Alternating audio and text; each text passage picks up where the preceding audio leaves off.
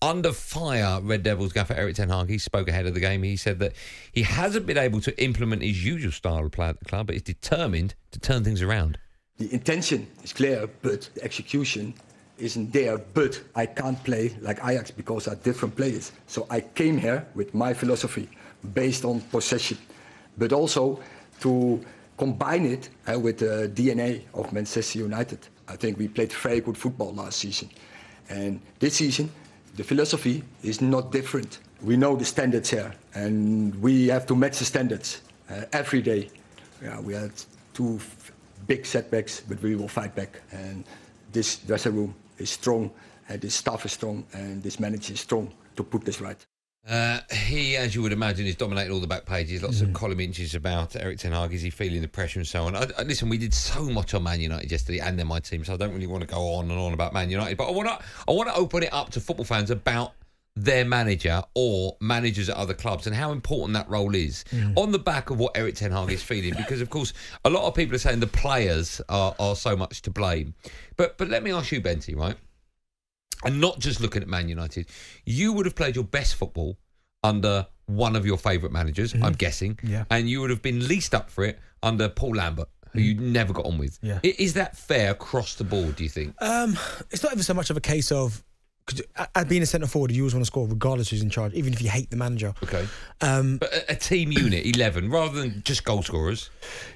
you'd say so, but then so how many times have we seen? And, and this one, it it does sometimes come down to the players as well as the manager. Because how many times have we seen a team struggling and the players just not even pulling their weight? New manager comes in, and all of a sudden, overnight, Boom. things change. Things change. Unai Emery, a prime example. yeah, Aston just Villa. overnight things change. But I mean, he, he says a lot there, Ten Hag, which is I'm, I'm a little, like, what? Because he speaks about the philosophy at Ajax and he can't play that with the current players he's got. But surely Manchester United signed him because of the football that he played at Ajax, that type of philosophy. So if that's the, the philosophy that he knows, you can't. The Man United can't sign uh, Erik Ten Hag off the football that he plays at Ajax and that philosophy for him to get rock up at United and not play that. Do you know what I mean? And not play that that philosophy. Yeah. But when you look at some of the signings, he talks about he can't do that with Ajax, but he signed players that he's worked with before, the likes of Antony, you know, Lisandro Martinez. I think he's been with Amrabat before, Onana. These are players that he knows really well. So clearly he he wants to like he's been successful in Holland, um, the Netherlands, sorry, because he played that particular brand of football. So why would you then get the opportunity of a lifetime, which it was at the time, Manchester United, to not to come away from that? But- you, but- you're never you're never ever gonna succeed. But when I hear people blaming the players, and I, uh, listen, a part of the blame goes to the players because they're a part of that. yeah, of course, down tools. right? But a manager's job is to manage. Okay, if he's not getting the best out of a player, right, then you have to question his relationship with that player. Yeah. The flip side of that is, I mentioned it earlier on with Eddie Howe, right? Joelinton, Almiron. These are players that all of a sudden we're seeing a different kind of level of play. You you look at Ange Postecoglou, right, at Spurs. Um, Udogie, right? He went out on loan at Udinese, brought him back, turned him into you know, a brilliant, brilliant player Yeah. for Spurs. Sarr is using now, Bissouma is using now. These are all players that were available to last manager, Yeah. but he didn't manage. He didn't use them. So, although personally the players are culpable for some of the blame, Yeah.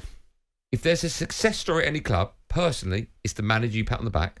And if things aren't working at a club, it's the manager you go, hold yeah, on a minute. There's an element to that, and yeah, you're right. But also as well, I think you've got to understand what's going on in that dressing room. Like obviously, Ten Hag's had to make some big decisions, hasn't he? Leaving certain players out, the Jadon Sancho situation.